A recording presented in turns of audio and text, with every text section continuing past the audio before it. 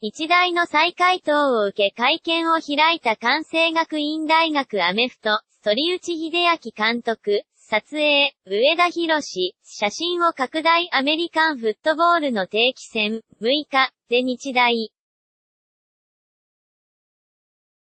宮川大輔選手、3年、が関学第2年生球部に悪質な反則行為で負傷させた問題で、関学大は26日、兵庫県西宮市内の同大学で3回目の会見を行った。22日に宮川選手が会見を行い、反則行為は監督の指示、と主張。しかし、翌23日に会見を開いた内田正人前監督、62と井上翔前コーチ、30は、宮川選手の発言内容を否定。あくまでも、首脳陣と選手の間に理解の乖離、乖離があった、として、反則行為の指示を否定していた。会見には鳥内秀明監督、59、と小野博士ディレクターが出席。鳥内監督は、日大の再回答書について、前の回答書と変わりない。内田前監督は直接、謝罪に来られた時に、すべて私の責任です、と言っていた。それなら会見での発言は違ってくるのではないか。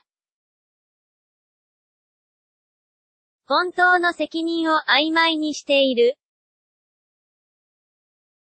また、反則行為について、我々の認識と違うのだろう。このディレクターは、宮川くんの会見を見て、彼の話に信憑性があると思っている。宮川選手が謝罪に来た時に、直接、話をして確信を持っている、と話した。関学大は10日、日大に対して申し入れ文書を提出。15日に日大が、監督による意図的な反則行為の指示を否定する回答書を送付。関学大は17日に会見を開き、回答書の内容に疑問を呈し、24日を期限に回答書の再提出を要求した。24日、日大が再度の回答書を提出し、改めて反則行為は、監督の指示、ではないと回答。